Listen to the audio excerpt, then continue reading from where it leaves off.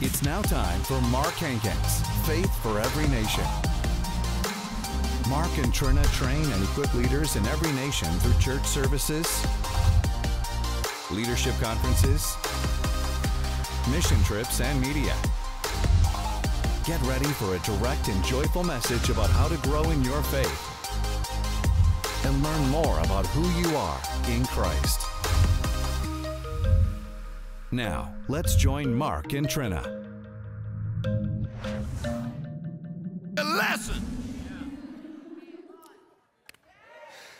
Are y'all still here? Go back to lessons and re examine your faith and feed your faith. Why? Because Jesus knew the day of Pentecost is coming. Come on, the book of Acts is coming. And if you don't deal with that right now, it's going to mess you up for the next 30 years of your life. Come on, it's going to limit you for the next 30 years of your life if you don't make this adjustment right now. I feel like slapping somebody right now. Listen, if you will dare to believe God, get rid of some unbelief. Come on now. And if Paul had to holler at somebody,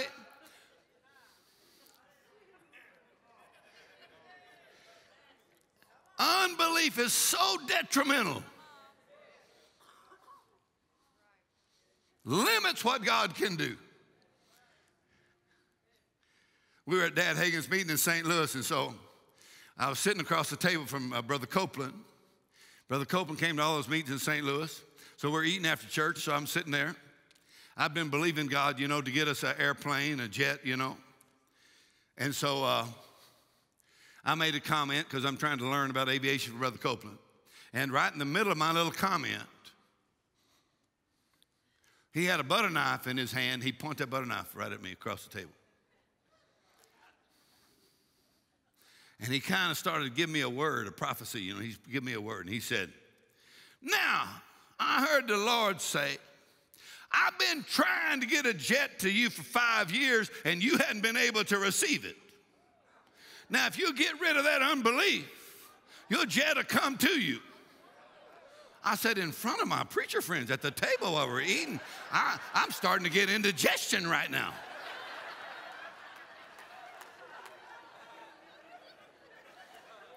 I wonder what God's been trying to get to you for five years and you hadn't been able to receive it.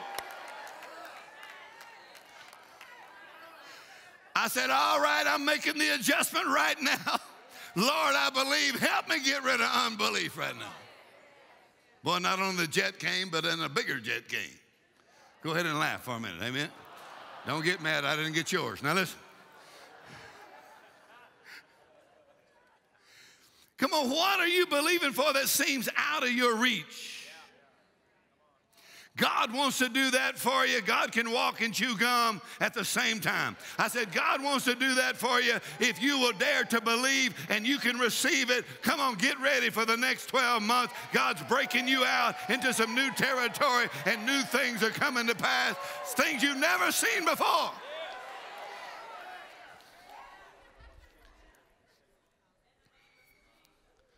Him who draws back. Come on, even in the area of finances, people draw back when it's time for them to sow their seed. Time to sow or stretch, and they pull back like, oh, oh, they're counting all their money. Oh, I'm gonna run out of money. Listen, many offerings I've grabbed a cornstalk, swung out over hell, and spit in the devil's eye. Right here in this, come on now, right here.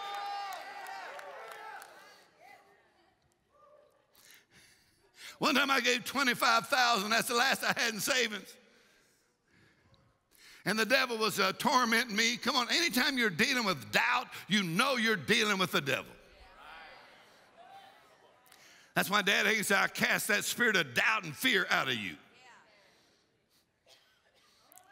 Come on, so I'm just full of fear, you know, and doubt, and so I don't want to really sow my seed. I thought, well, I'll stay in my comfort zone. Instead, the Lord said, I want you to sow more of that. So I said, All right, I'll sow it. So I sowed every bit of it. Wow, after that, I thought, There better be a God. Come on.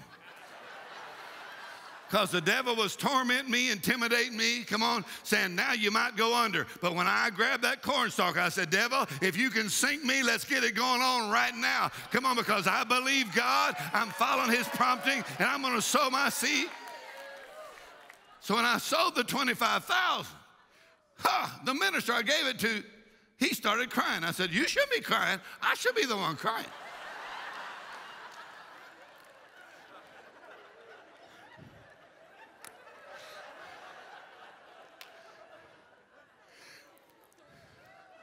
Anybody know what happened within two weeks? Absolutely nothing. Anybody?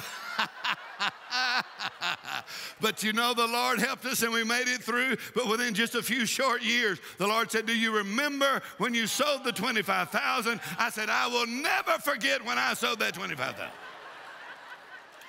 He said, I want you to count it up because that was $25 million ago.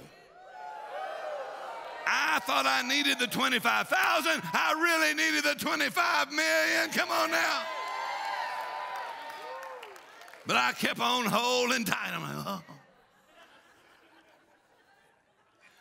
In other words, the spirit of faith will cause you to do things that are unreasonable. Oh, well, let's try this out over. I said, the spirit of faith will cause you to do things that are unreasonable. You can't figure it out with your brain, your mind, but when you believe God, you act on the word of God. I'm, I'm going to come down there just a second. Two kinds of unbelief. First kind is lack of knowledge. That's curable with the word. Faith comes by hearing and hearing by the word. Paul said, I planted, Apollos watered, and God gave the increase. That means never underestimate the importance of the repetition of the word. Everybody say the repetition of the word. Come on, that's where faith comes from. The second kind of unbelief is called, Dad Hagin called it, unpersuaded to act on the word. Unpersuaded to act on the word unpersuaded to act on the word. Two kinds. In other words, some people have lack of knowledge or lack of revelation knowledge, and that's curable. Is that curable? How many believe ignorance is curable? We really should believe that. Ignorance is curable. Unpersuaded to act on the word, how many believe that's curable? What happens? That means you've got to take your faith and act on the Word of God or act like the Bible is true. Listen close. The Lord said it to me very simply. He said, The simplest definition of faith is to act on the Word. He said, The moment you act on the Word, God makes Himself responsible for your results. All right, let's try this out over. here. Come on, I, I got to find out if there's any any believers in some section here because I'm fixing to go talk to you. The moment you act, everybody say act. How would you act if you believe? Come on now. In other words, you got to go past, come on, just information, come on, and move. Act. Faith is an act. Come on, Hebrews chapter 10, by faith. One translation says, by an act of faith, by an act of faith, by an act of faith, by an act of faith, by an act of faith. Amen. How would you act? That's why sometimes you need somebody to help you. Release your faith. So, an act of faith simply means your faith must move your mouth. Once it moves your mouth, it will move you. Once it moves you, it will move anything. So there's two kinds of unbelief. One is lack of knowledge. Two is unpersuaded to act, or Dad Hagin call it disobedience. All right, let's try that again. Unpersuaded to act or disobedience. Both kinds of unbelief are curable.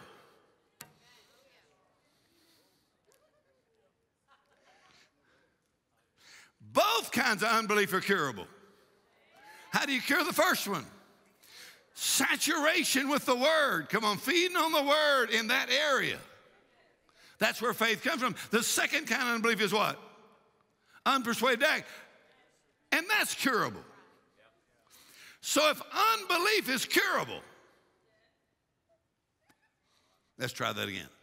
I said, if unbelief is curable, nothing is incurable. I said, if unbelief is curable, nothing is incurable. I said, if unbelief is curable, nothing is incurable. Because if you can believe, all things are possible.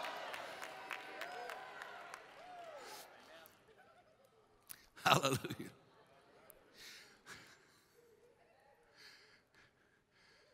So everybody needs at least four crazy friends that will help you.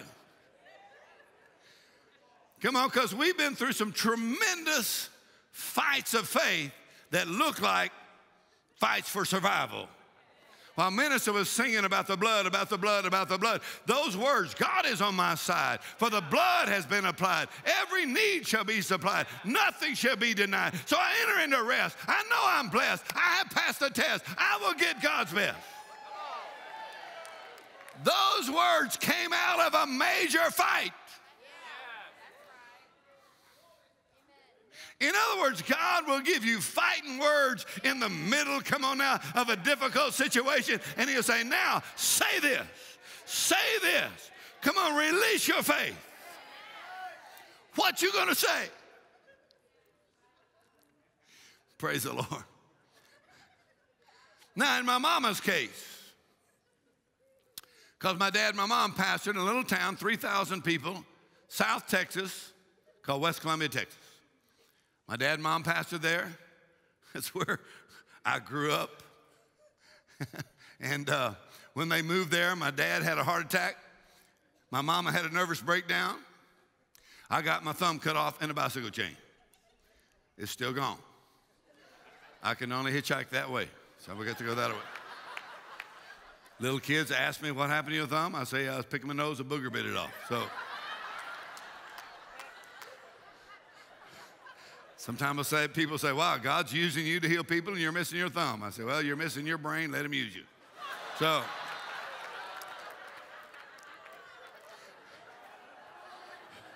so in the middle of their trouble, my dad was sick.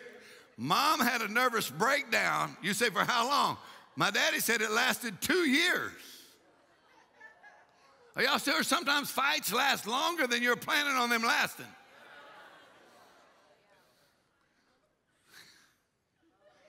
Come on, if you don't get the knockout in the first round, come on, hang around. You got some more rounds coming up here. So, my dad is sick.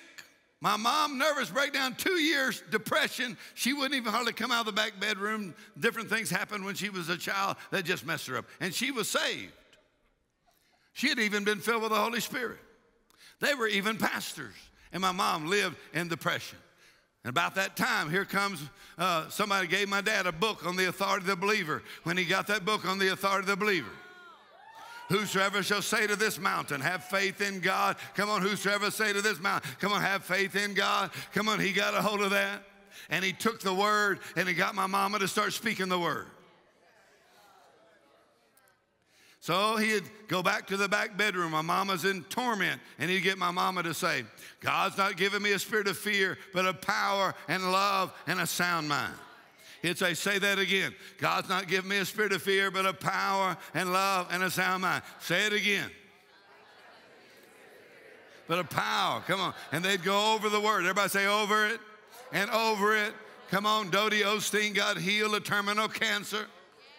Come on, what was it, 20, 30 years ago? But they say every morning she still gets up for two hours every morning and goes over the same healing scriptures that she went over when she got her healing. Come on, there's still a fight going on here.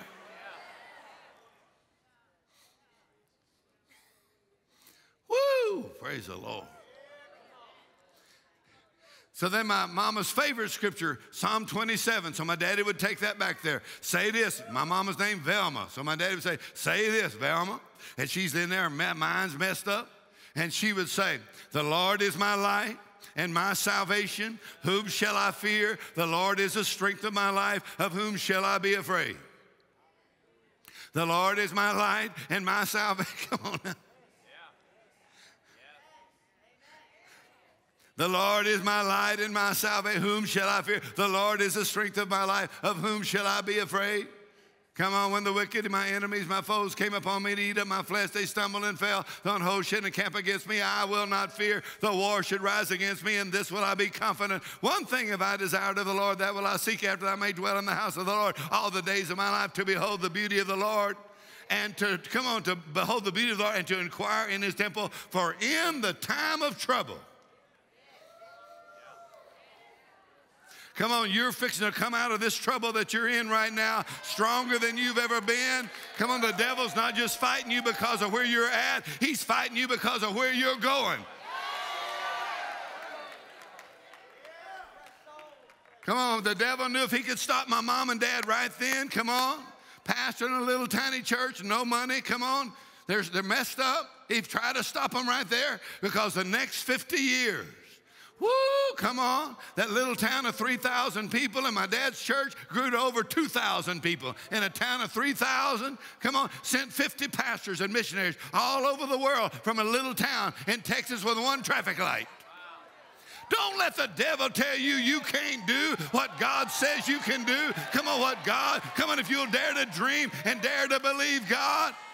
So when my daddy would preach, you could tell he would get all fired up. That's why I like David Sharon preaching. You never know. He's like, he'd be walking along like this and he'd go, ah! He'd go, nothing.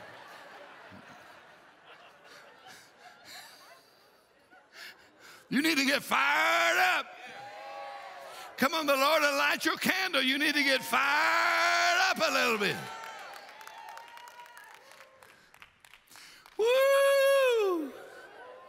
Come on, your best days are ahead of you. Your best miracles are ahead of you. So the devil's fighting you right here. Come on, he's fighting you right here.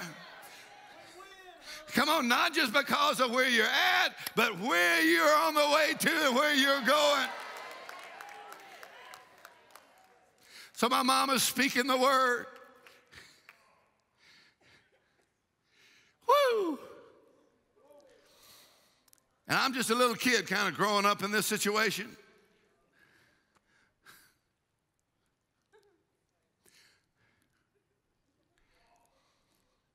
My mama came out of the back bedroom, came over that little church. My daddy preached, and when my daddy preached, there was only one traffic light in town. One traffic light in the whole town. And when he would preach, you could tell that attitude Everybody say attitude. Spirit of faith. And he'd preach and he'd point like this at the back. He said, I'm telling you, you can get anywhere in the world from that traffic light right there.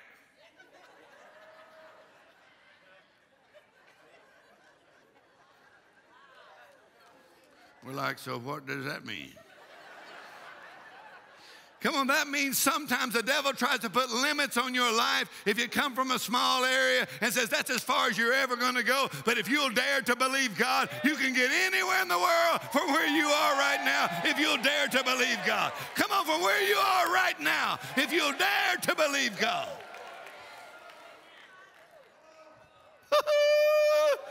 ha ha ha ha ha ha ha Come on, stir yourself up again to believe God for things that look impossible. Come on, laugh at impossibilities and believe God. I don't care if you're 17 or if you're 80, if you'll believe God, we are well able to possess the land.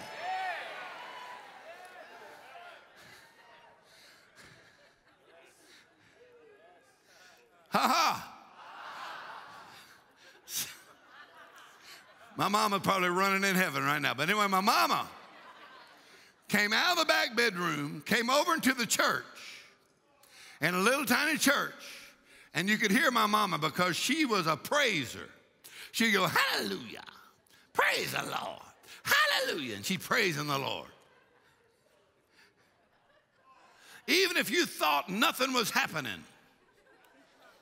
All right, let's try this out I said, Come on, even if you thought, well, this service ain't going nowhere, even if you thought nothing was happening, my mama go, hallelujah, praise the Lord. Come on, something's about to happen right now. If you'll dare to believe God, even if you think nothing's happening, when you start lifting your voice, something is happening. Come on.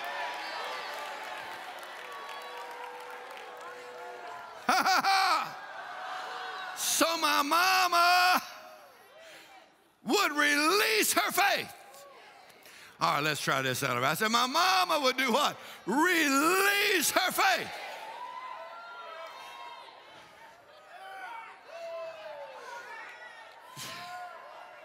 She would release her faith.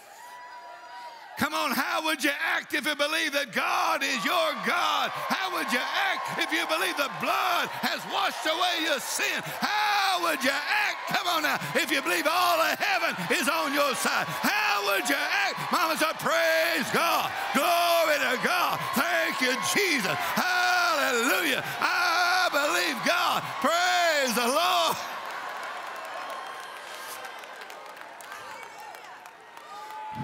Stand up on your feet. I'm about finished here.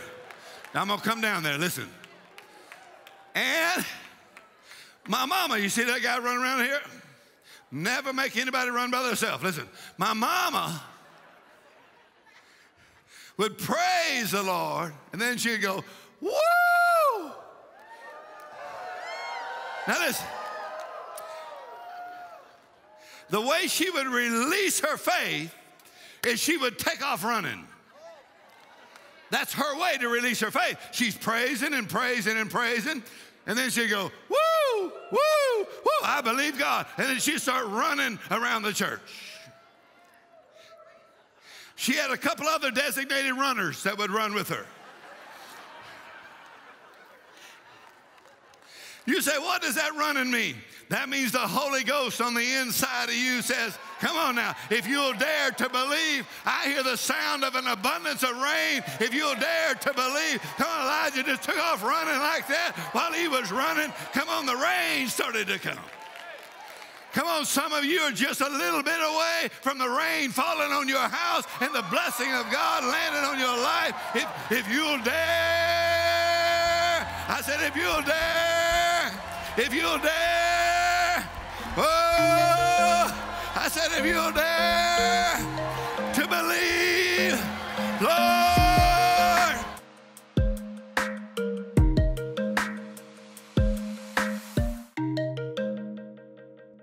You're watching Mark Hankins Ministry, Faith for Every Nation. In Mark chapter 9 23, Jesus says, If thou can believe, all things are possible to him that believes. The cure for unbelief is the teaching of the Word of God. The good news is when you hear the Word of God, your faith can grow and nothing is impossible. Nothing is incurable. Turn your faith loose today by believing and speaking God's Word. Watch the mountains in your life move and overcome the challenges you're facing. Your confession of faith brings you into the consciousness of who you are in Christ. In this three CD set, Nothing is Incurable, Mark Hankins has three messages that will strengthen your faith.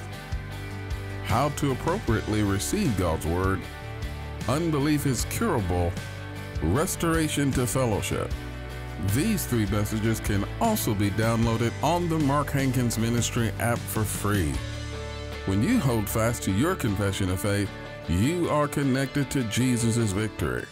There is a miracle in your mouth. For your offering of any amount, you will also receive Mark's book, The Spirit of Faith. Believing and speaking opens the door to the supernatural.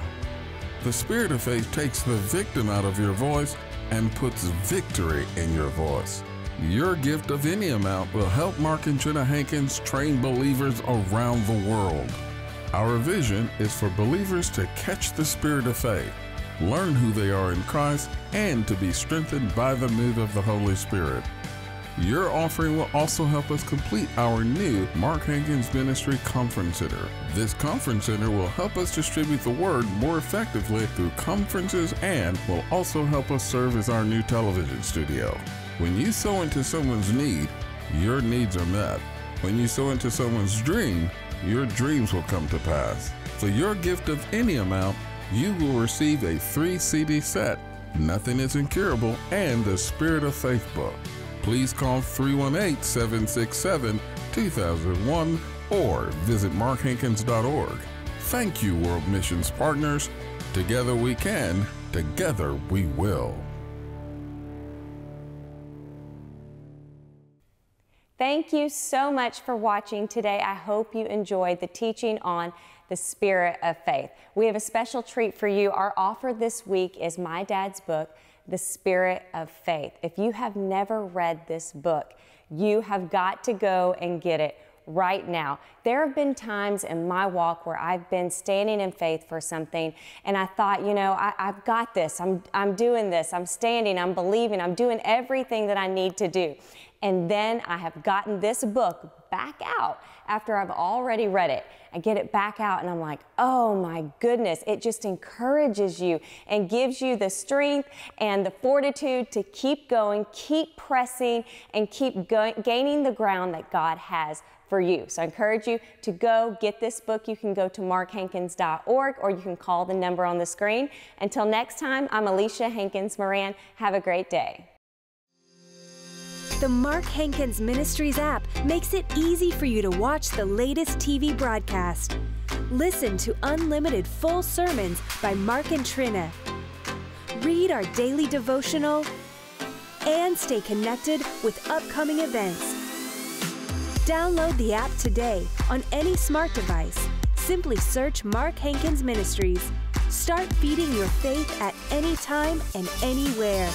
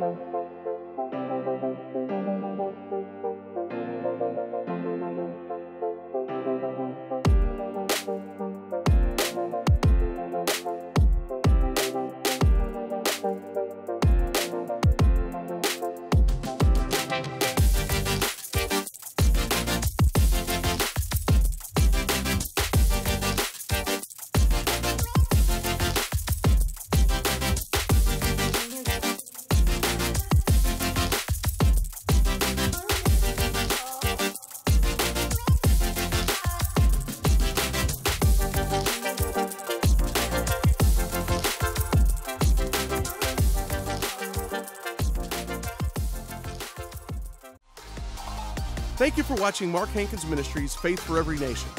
For more information on how to build your faith, visit markhankins.org. You can access many free word resources to help you find who you are in Christ. Stay connected with us on Facebook, Twitter, Instagram, or our YouTube channel. Thank you for watching.